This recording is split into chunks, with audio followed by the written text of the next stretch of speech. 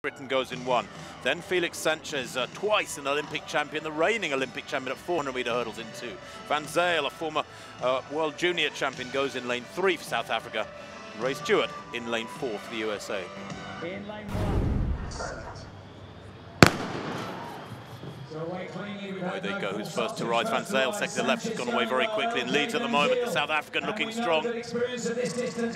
Rodger going well too to ride a picture of Van Zyl with a good lead on the near side. Ray Stewart in the red is also chasing hard. Sanchez has got a lot of work to do over on the far side, as has Seb Rodger. But look at J. Van Zyl. He's steaming away with this one. That's a fabulous run from the South African. Don't let's forget, he comes off the South African season, so he is sharp. They've had their summer.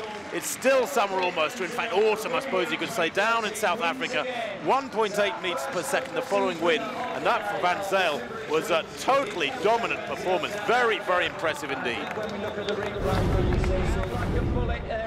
He really is an erratic hurdler. I've seen him so many times over 400 metre hurdles. Sub 48, close to 47 at his best, but he can be very, very off colour, uh, so often as Tim mentioned early on. But on this day, he looks very, very good indeed. His hurdle technique is good. He gets down to the ground very quickly, and he absolutely destroys the rest of the field. Sanchez nowhere near it this time. Ray Stewart coming through into second place on his first venture over 200 metre hurdles.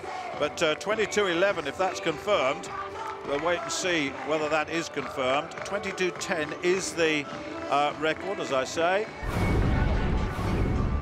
It was a world best 20.